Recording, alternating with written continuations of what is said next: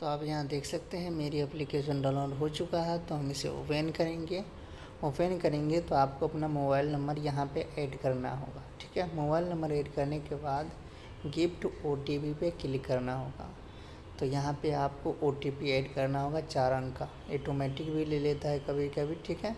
उसके बाद आपको कंटिन्यू पे क्लिक करना होगा, उसके बाद अलाउ परमिशन देना होगा, ठीक है? जो भी परमिशन मांग रहा है। तो आप यहाँ देख सकते हैं कि नावी ऐप्स है वो ओपन हो चुका है। तो नीचे में three number option loan product पे क्लिक करना है। जब इस पर क्लिक करेंगे तो यहाँ पे डाउनलोडिंग कैश लोन ऐप्स ठीक है? तो यहाँ पे कुछ परसेंटेज बाय लिखा रहा है। तो यहाँ पे थोड़ी देर आपको वेट करना है। वेट करने के बाद यहाँ पे पूरे सौ परसेंट होने के बाद आगे का प्रोसेस होगा। तो यहाँ पे हम वेट कर रहे हैं। तो ये वीडियो को थोड़ा हम स्किप कर देते हैं। तो आप यहाँ देख सकते हैं कि हम वीडियो को स्किप कर दिए हैं और ये सौ परसेंट हो चुका है।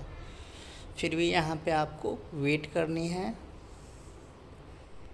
आप यहाँ देख सकते हैं लोन अप्रूवल उसके बाद गिफ्ट स्टार्ट पे क्लिक करना है। तो हम यहाँ पे क्लिक कर रहे हैं।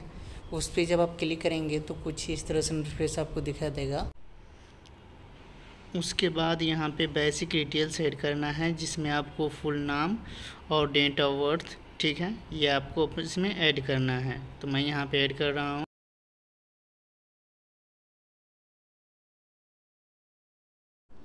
ऐड करने के बाद आपको नेक्स्ट पे क्लिक करना होगा।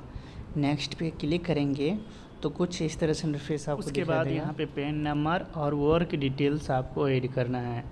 ठीक है तो आपको पेन कार्ड का नंबर ऐड करना है और जो आप काम कर रहे हैं वो उसके बाद आपको नेक्स्ट पे क्लिक करना होगा तो यहाँ पे भी आपको वेट करना होगा।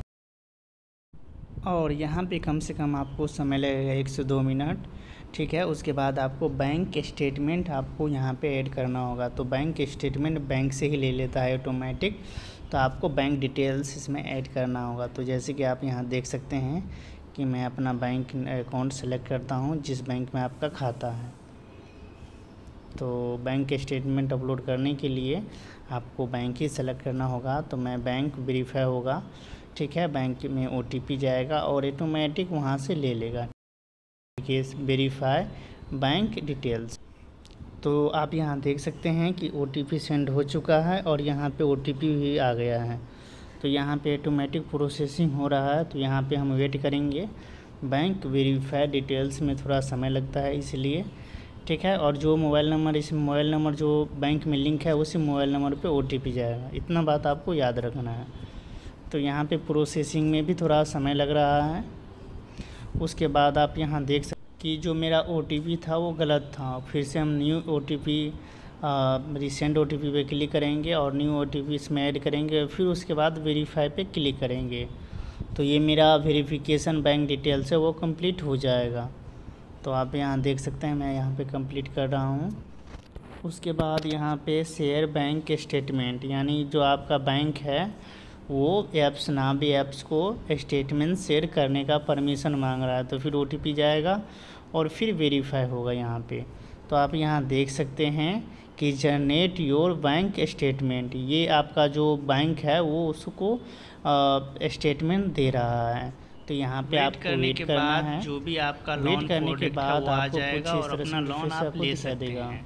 तो दोस्तों इस तरह से आप ना भी ऐप्स में अकाउंट बना के अपना लोन अप्लाई कर सकते हैं। तो चलिए दोस्तों नेक्स्ट वीडियो में मिलते हैं।